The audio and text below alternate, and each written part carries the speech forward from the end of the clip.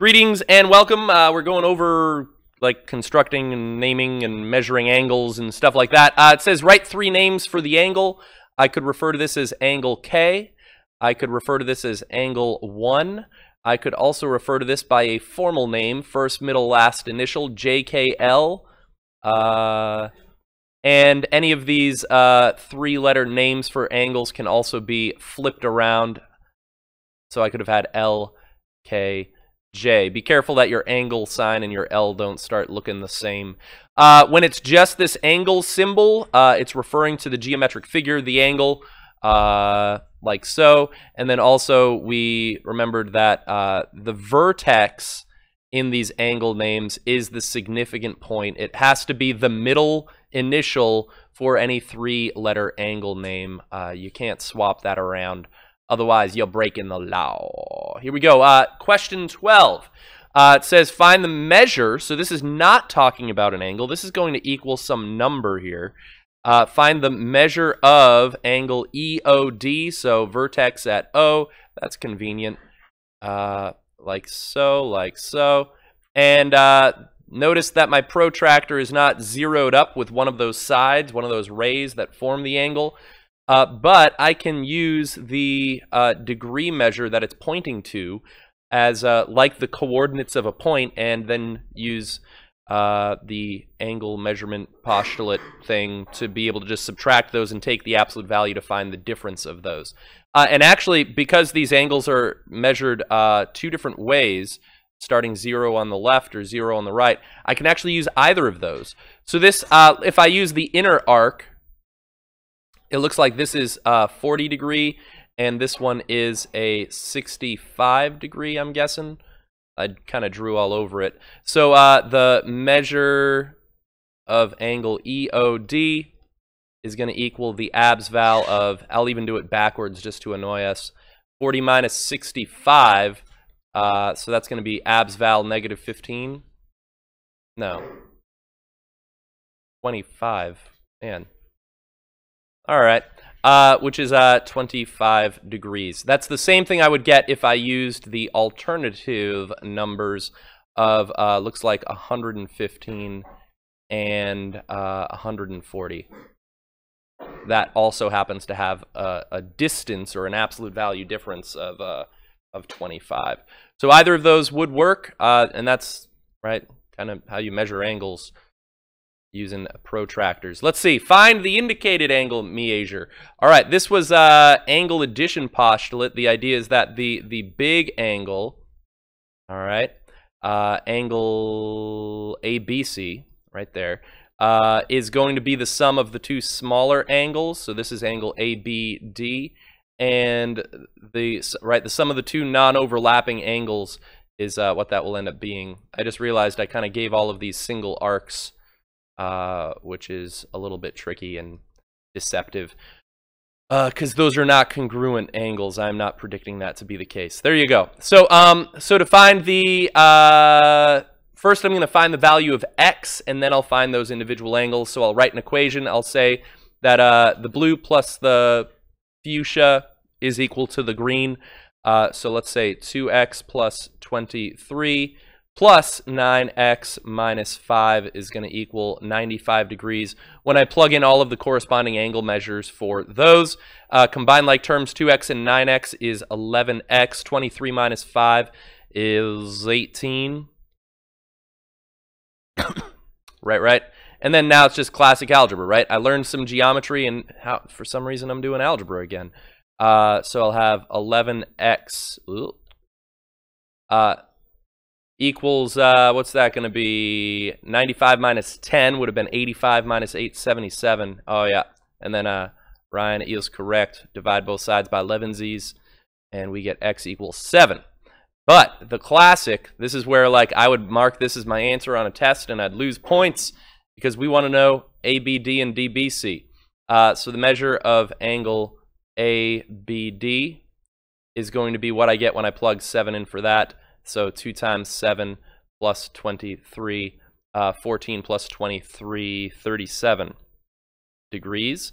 And then the other one, I could now just subtract 37 from 95, or I can plug it in here. Uh, right? Multiple solution, multiple approaches to the solution. So DBC is going to equal 9 times 7 uh, minus 5. There we go. So 9 times 7, 63. Minus 5, uh, 58, I believe. Right? So those are going to be my my final answers. All right. So uh, the big idea here, here was uh, just the two smaller angles out of the big angle. Question, comment? Really? All right. All right. Yeah. Yeah. Like there's yeah there's multiple ways you can kind of plug this in. Um, one of the things I do want to point out is I couldn't assume that BD was an angle bisector. All right, that would have been like a wrong assumption. Uh, so I couldn't assume that this was equal to that. But, but yeah, there's a, a, few different ways you can set it up. You can do subtraction. Uh, I could have said that this is equal to 95 minus that. Uh, right, a bunch of different ways. But as long as you're obeying the laws of mathematics, you will be fine. Let's see. Uh, I'm going to try a construction here. I should have pre-prepped my ellipse tool here. Uh, so yeah, here we go. Uh, so if I want to bisect an angle, uh, one of the things I pick an arbitrary uh, radius and I swipe an arc, which is now, that created two intersections here, all right, uh, along this arc. And I want to I want to bisect it, divide it in half exactly. Uh, so now what I'm going to do is line up my compass at one of those points, and I'm going to pick another arbitrary radius. Uh, the, the issue is I don't want my radius so small that it wouldn't reach more than halfway between this intersection and that intersection. So that's not helpful. So I need it more than halfway, and it can technically even be, let's see if I swipe it this way, uh, it can technically be oversized past that point, and that will still work Oh, well, rotating a circle isn't that interesting. Uh, didn't mean to do that. But, uh, but here we go. Let's say I put it right here, and I'm going to swipe this arc like so, and keeping a constant radius, and moving this over here, and swipe this arc, I now have two new intersections, and I've got three points that are going to be collinear uh, that will form an angle bisector. And so if I uh, draw this, right, through the intersection of those arcs and the vertex, or the vertex in one of those arcs, you didn't necessarily have to draw those blue arcs so large that you get both of them, but I find it to be somewhat satisfying to get like the triple headshot simultaneously. It's like, come on, that's pretty good, pretty good. Uh, no, 360 no scope, you know? Uh, so let's see, and I think this is the last problem I was going to do. Uh, if I know that this bisects angle ABC, what uh, what do I know about these smaller angles? I heard. Uh, let's see. Not to. Let's see. the The measurements are equal.